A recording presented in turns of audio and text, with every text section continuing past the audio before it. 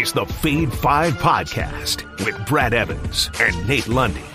Place your bets, you jackwagons, and happy Cinco de Mayo to you and yours. Uh, let the uh, margarita start flowing. Uh, tis indeed the Fade 5 podcast uh, presented by Suavecito Tequila. Go out and buy some Suavecito tonight at Total Wine and More. Reposado. Mix it with uh, your favorite uh, orange liqueur, maybe a little Cointreau, maybe a little Grand Marnier. Go with a lime. Go with a squeeze of agave syrup. Chicken up over ice, serve it with a salted rim, and you have a wonderful, delicious team Huevos margarita. Where-. Where are you? Uh, that is Nate Lundy. Uh, I am Where the, are you? I am in the darkened interrogation room here at the United Center in Chicago, Illinois. I, You I have done up. If you're watching the video right now on the old uh, uh, TubeView, um, Brad is like, first of all, it's very dark where Yeah. you are because normally the shine off of your bald head uh, exists. Right now, very, very dimly lit, uh, very dark. And then if you're only listening to the audio portion of this, Brad's in like an echo chamber. It's like you're in a porta potty Yeah. or something. This is great. This is a great Yeah. way to start the Friday edition of the pod, Brad. Good job. Good job. Well, I shouldn't have thrown that foreign object uh, onto the floor uh, inside the United Center, but the Chicago lobbing- Bulls deserved it. They Are were you lobbing- terrible. You lobbing dildos into the into the painted area?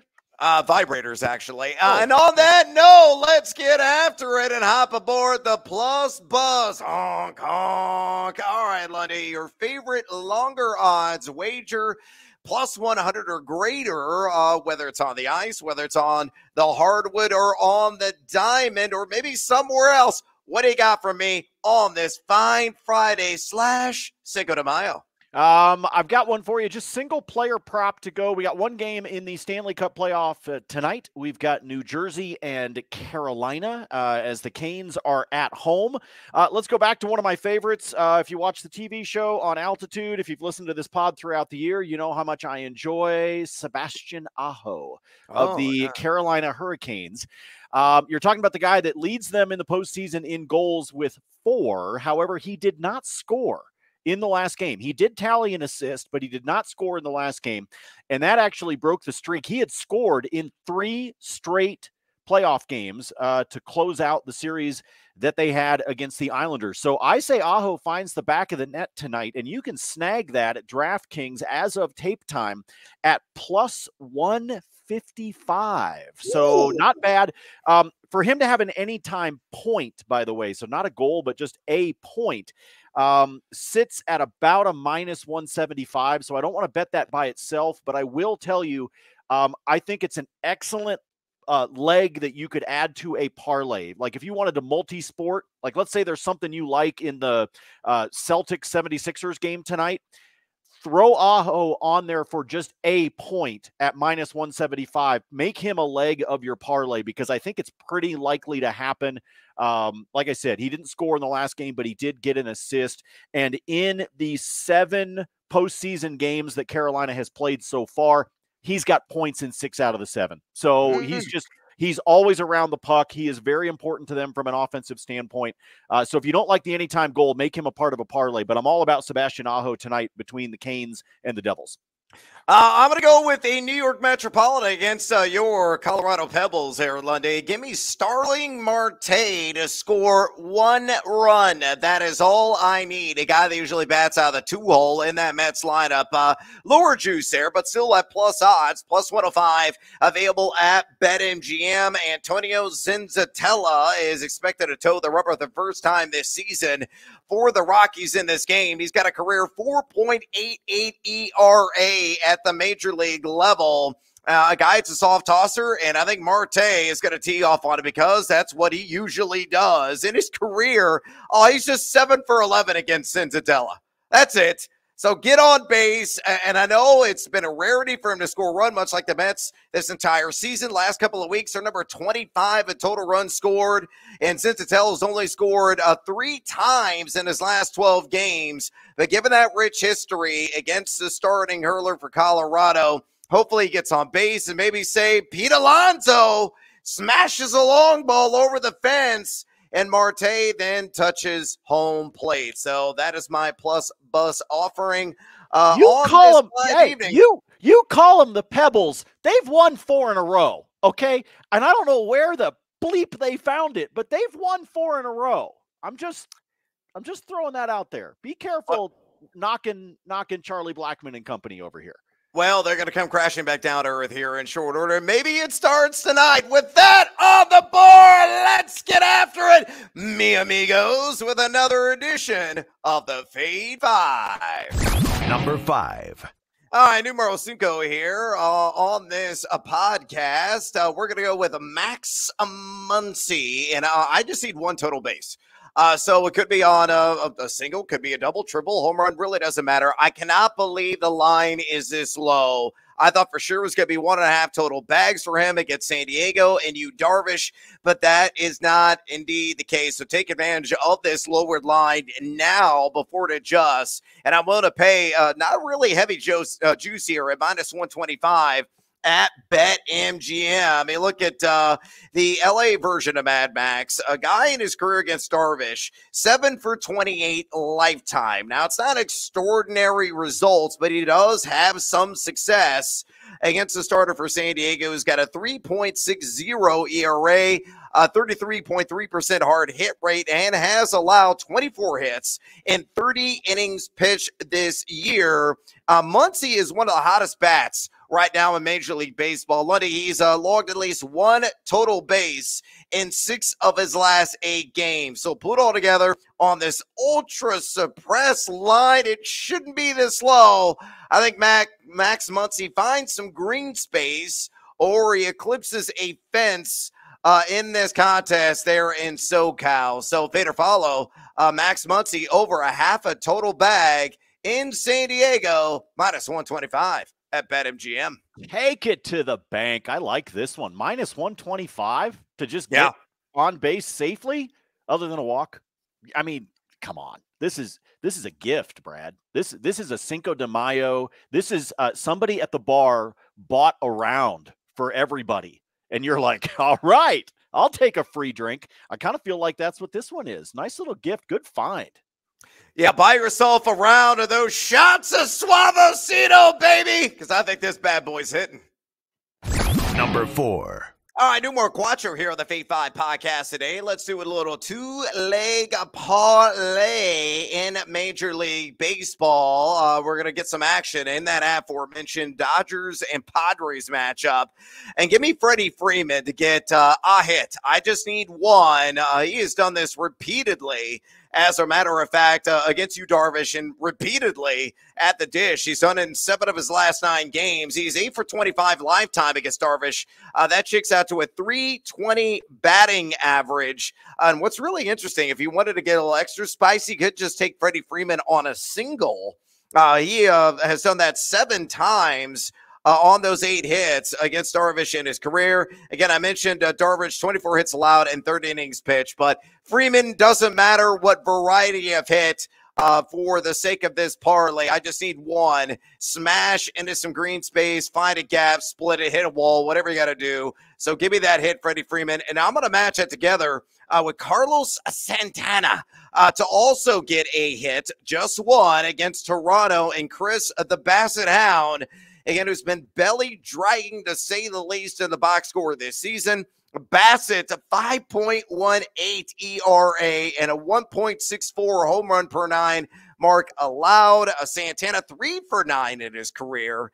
Uh, against the hurler from the Toronto Blue Jays with a pair of home runs and a 1,566 OPS. And most importantly, Santana has registered a hit in eight of his last nine games. So again, Carlos Santana get a hit, Freddie Freeman to get a hit. Both those events occur plus 121. Work those shoulders and get seduced by the juice in the process at DraftKings. Lundy, better follow.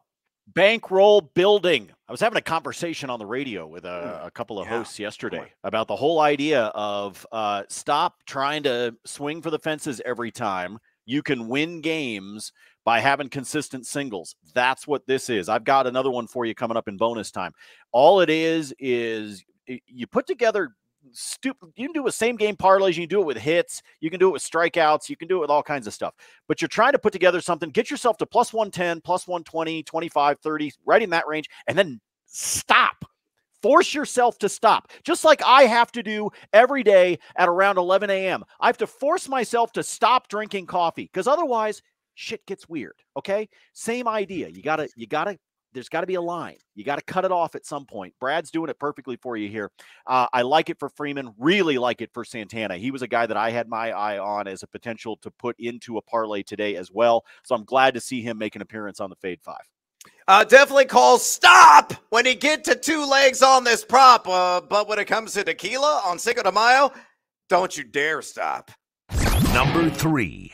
All right, numero trays here on the Fade Five podcast. Uh, have a heart, uh, would you? Give me Josh Hart, who's going to go pitter pat in game numero trays in the series between uh, the Knicks and uh, the Miami Heat. I'm taking the over on 11 and a half rebounds plus assists, uh, just a little bit higher here a stronger VIG at minus 130 available at DraftKings, but I'm willing to pay it. Uh, he went uh, 12 in game one, so he hit the over barely. Uh, Captain Hook, yar, shiver me timbers, did not come into play there. Uh, but in game number two, he went nuts. He went bananas, 20 combined in assists and rebounds. Uh, he has done this in three of six contests uh, this season against the Miami Heat. That's included the regular season. And look at what Miami has allowed here in the NBA postseason six most rebounds per game of the opposition, and the fourth most assists per game as well. Hart does the little things. He is a dirty worker,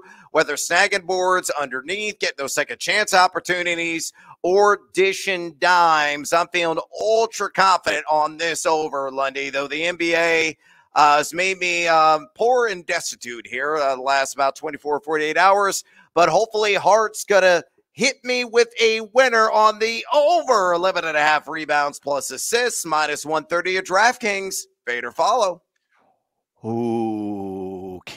Now, here's, folks, here's where I'm going with this one. Um, Brad has really been bad.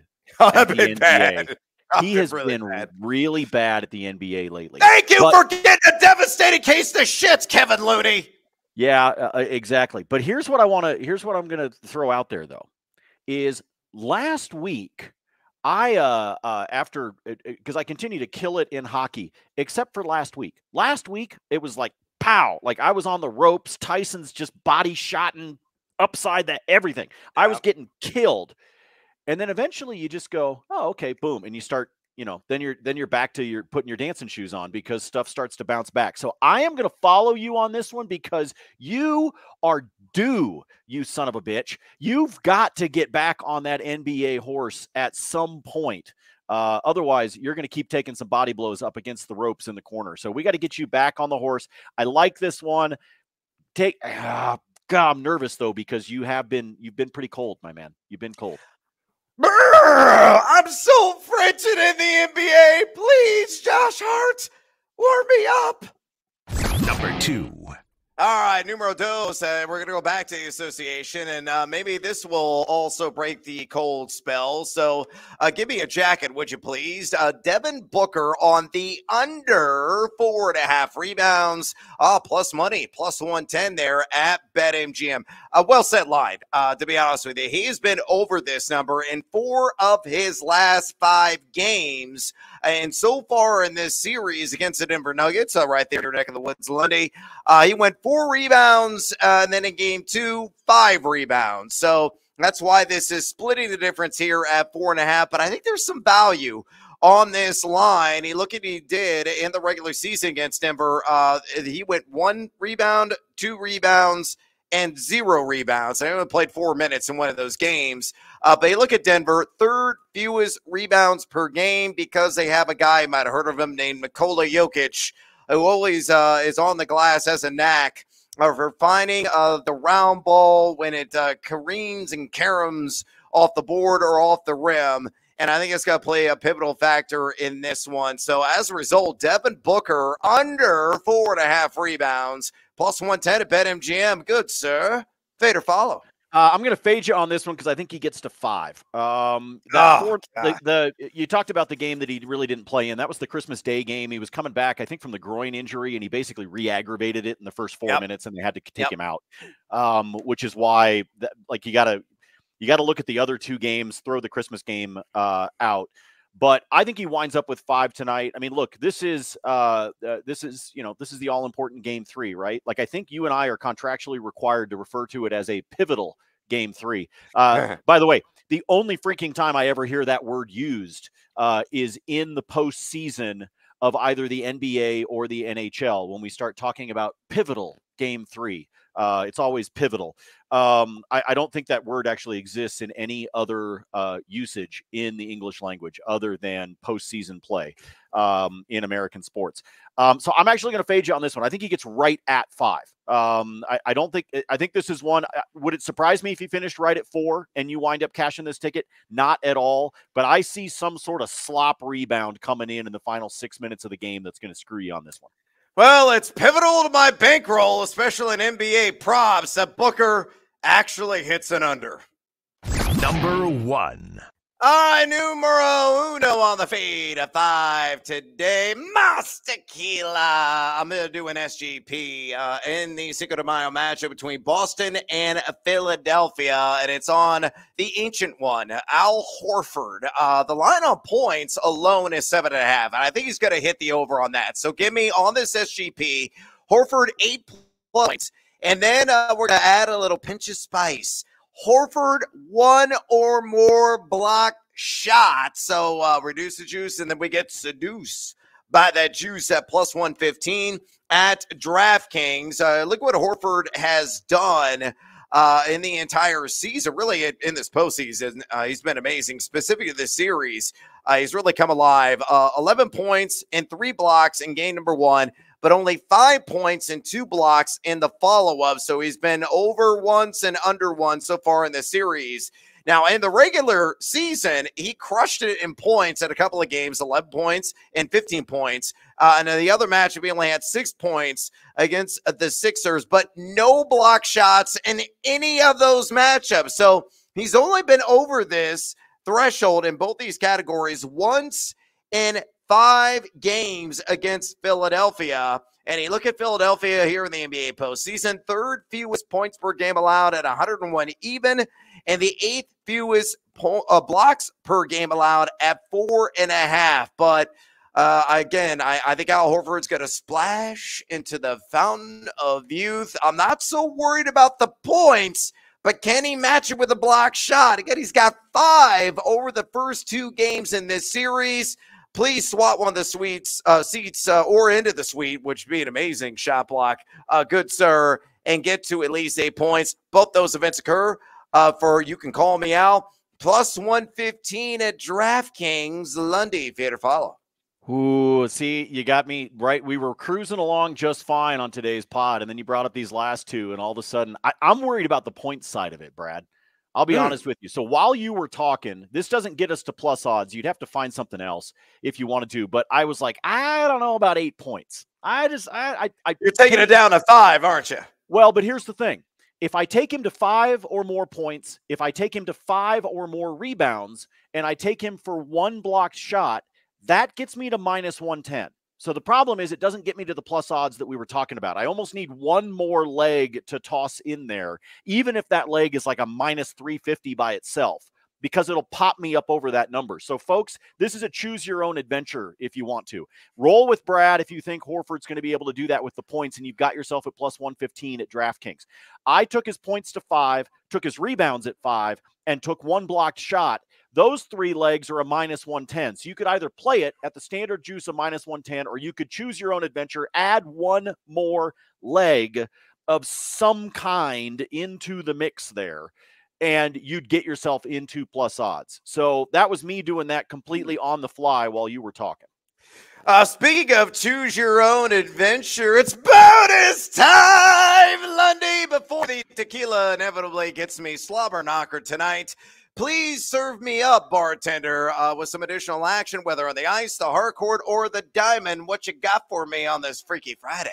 Uh, let's stay in that game for a moment. You were talking about uh, Devin Booker with his uh, with his um, uh, rebounds. rebounds and Yeah. you played him on the over for the rebounds. I No, like I took him on the under the took him rebound. on the under. Excuse me. That's right. I took the over on that one.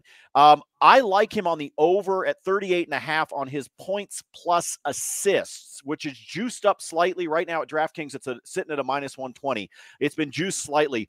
But if you look at the seven postseason games that he has played, he's been over in four of those. As we all know, there is no Chris Paul tonight, which means I think Booker's going to have to get a couple of extra dishes there. He's going to have to go for a couple extra dimes because Chris Paul isn't going to be there to do it. And so I think that gets him up over that particular number 38 and a half on his points plus assists. Again, it's juiced just slightly, but that's the stat line I want to go to. You can also start to look at some of the uh, role players that are probably going to see some increased minutes, things like that within this game. Those may show up with Brad and his bonus time. If not, just check out some of those because, again, without Chris Paul, some of those minutes are going to have to get distributed. And some of those guys that are role players have really low thresholds to be able to hit, like um, uh, Okogie. Is that how you say his last name? Okogie? Is that how you say Uh, it? Josh? Sure. I, I never remember how the hell to say his last name. I apologize to uh, Josh and his entire family. His points plus rebounds is at like nine and a half. That's an example of a guy that I think is going to step up because of the way that the uh, that the game is likely to be able to go. All right, um, Rowdy Tellez, Oh, he's been in fuego. Absolutely on fire. He's on a seven-game hit streak right now, and lifetime he is two for three against Sean Manaea. So it's not a very big sample size, but he is two for three for him lifetime. Take Tellez for a hit, and then give me Paul Goldschmidt for a Hmm. hit as well at plus 127. He's only got three at bats against Matthew Boyd of the Detroit Tigers, but he went one for two with a walk um, uh, in that one. Uh, he's uh, Boyd has given up 18 hits in his last three starts. So all I need is Paul Goldschmidt to have one of those. So if you take Tellez and you take Goldschmidt, you put those two together, it is a plus 127. Ooh. But oh, Brad, I want to throw this out there for people that are already feeling the Cinco de Mayo. All right, you, we've already we've moved on from the Justin Timberlake jokes. Now it's time for some tequila on Cinco de Mayo. If you take Brad's two leg of Carlos Santana and Freddie Freeman, you combine it with my two leg of Oh. Rowdy Tellez and Paul Goldschmidt at DraftKings. That is a plus 404. Woo! So if you want to play them individually, go right ahead. Remember, Brad, yours was like what plus one twenty one, something One. like that. Yeah. One, Yeah. and mine is a plus one twenty seven. Feel free to play them individually, but if you want to put all four of them together and slap like a half unit bet on it, it comes out to be a plus 404. If you're listening to the podcast early enough, give me Garrett Hampson for a hit. That's all I need is for Hampson to have a hit. It's minus 115 at DraftKings against Justin Steele. Again, small sample size, but he is three for three with a walk, and two of those three hits were doubles against him lifetime. So he's not only hitting it uh, against Justin Steele in previous matchups, he's making it to second. So he's getting the job done. Uh, and then lastly, nobody scores more runs in the first five innings of a game than the Tampa Bay Rays do. So give me the over on two and a half for the team total Oh. on the Rays, um, taking on the Yankees at home. You're going to play that one at a minus 110 at DraftKings. Again, this is their team total for the first five. And like I said, nobody scores more runs in the first five innings than Tampa. They're averaging 3.97 per game so far this season, but most importantly, they average 4.26 when they're at home. So just throwing that out there. It's kind of an oddball bet for you to jump on the first five on a team total. But the way Tampa's been hitting pitchers early, I think they can get to the Yanks. So give me the over on that one. As always, yield the floor to the fine gentleman from Illinois. Yeah, excellent selections there. I'm going to tell you on a couple of those. Let's get to the Team Huevos parlay play of the day. And on this Uno, Dos, Tres, Cuatro, uh, mi amigos, yeah, four legger. Uh, put this together, DraftKings. And if you include the boost, uh, there's a little button you can click uh, to enhance the odds at the top of the screen. It's plus 212 on the juice there. It is the Mets on the money line. It's the Mets to score three or more runs. It's Pete Alonso to get a hit. And it's Kodai Senga to strike out at least five Colorado Rockies. And again, to get that plus 212, Uh, Pete Alonso, four for nine lifetime against Antonio Senzatela. Uh, the Mets, yeah, they're number 25 in the last couple of weeks in total run score, but they've scored at least three runs in three of their last five games. As I said earlier, Senzatela, 4.88 career ERA at the major league level. And sure, the Mets have lost eight of their last 10.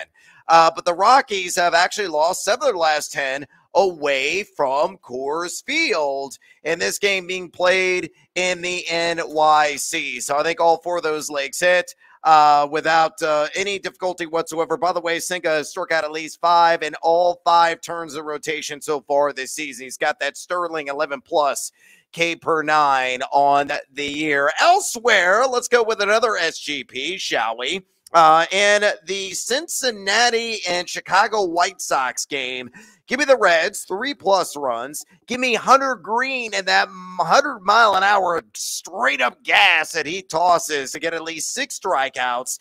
And give me the White Sox and Reds on an all total under 12 and a half. Uh, put those together, all three legs. It's plus 130. Cincinnati has scored at least three runs in seven of their last nine games. Sneaky good offense right now, really clicking. The White Sox had the 10th highest K rate of any team in the MLB over the last couple of weeks. And you know, Greene, all he does is make guys miss. He's got a 29.4 call plus swing, his strike rate. Uh, and has hit the over on this strikeout prop, uh, six Ks in three of six turns in the rotation. Uh, Lance Lynn, a little bit adventurous, uh, to say the least, the White Sox. I do worry about the total, uh, but I took it way up to 12 and a half. So hopefully Hunter Greene, the good Greene, shows up and shuts down the White Sox. So, you know, maybe they the Reds can pile up the, the runs and I don't have to worry about uh, the White Sox really threatening uh, the over there. Uh, elsewhere in Major League Baseball, one more SGP for you. And I'm going to give you a, a nerfy as well. Uh, Oakland, Kansas City. The only reason you can watch this game is to bet on it. It's god awful. Uh, both teams are the dregs of the keg, no question about it. I'm going to go an all total on six and a half and take the over. Both teams also score two or more runs. And Vinny Pasquantino to get a hit. He mashes lefties uh, hitting like uh, well north of 300 on the season against left-handed pitching. Kyle Muller is on the bump for Oakland. He's got a seven plus ERA. Do you need any additional evidence? I don't think you do. Uh, Brad Keller towing the rubber for Kansas City. There's going to be a lot of runs on the board. Oakland's been an overs machine so far this year 21 in 10 overs to unders, and Kansas City above 500 overs to under uh, as well on this season. Okay, elsewhere in Major League Baseball, a Nerfy. Uh, it's an early game, 120 Central start. Uh, Miami and Chicago on the north side. Uh, both these teams are top five in Nerfies this season. In fact, Miami is number one in Major League Baseball in Nerfy hit rate, uh, cashing in 68% of the time. 21 Nerfies to just 10 Nerfies.